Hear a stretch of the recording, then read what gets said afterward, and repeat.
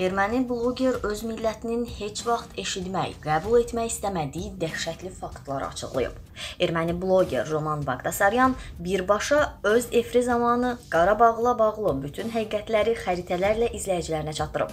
Ermənistan-Azərbaycan münaqişəsinin başlanması ilə bağlı maraqlı faktlar açıqlayıb və 30 ildən artıq zaman ərzində yalnız saxtakarlıqla və aldanma ilə məşğul olanların adlarını çəkib. Kütləvi informasiya vasitələrinə istinadla xəbər verir ki, bloger öz efrindəki çıxışında 1988-ci ilə qədər Qarabağ ərazisində yaşayan ermənilərin dəqiq sayını açıqlayaraq maraqlı bir məqama diqqət yetirib. Stat. Həmin dövrdə orada 150 mindən çox erməni yaşayırdı. Qarabağdakı bu ermənilərin təhtəşüur səviyyəsində beyinlərinə yerdildi ki, güya onların hüquqlarını Azərbaycan qorumur və Bakı güya Qarabağın inkişafına mane olur. Güya Bakı orada yaşayan ermənilərin sayını azaltmağa çalışıb. Əsas ideya isə Azərbaycanın tərkibindən çıxmaq idi və bu baş verdi.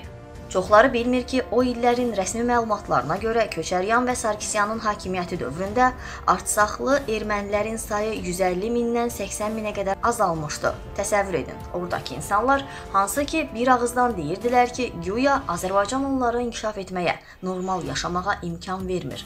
Həmin ərazilərə nəzarət İrəvana keçəndən sonra Qarabağdan başlarını götürüb qaçdılar.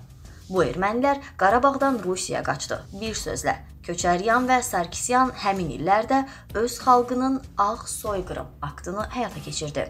Statın sonu. Bagdasaryan deyir ki, əslində Qarabağ məhz Ermənistanın nəzarətinə keçdikdən sonra boğulmağa başladı.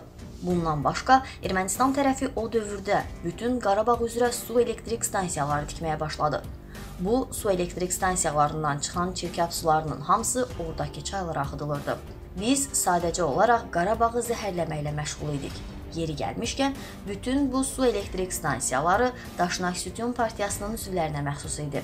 Biz bunu bilməliyik və hər şeyi Paşinyanın üstünə yıxmaqdansa biraz bu faktlar barəsində danışmalıyıq deyə Roman Bagdasaryan əlavə edib.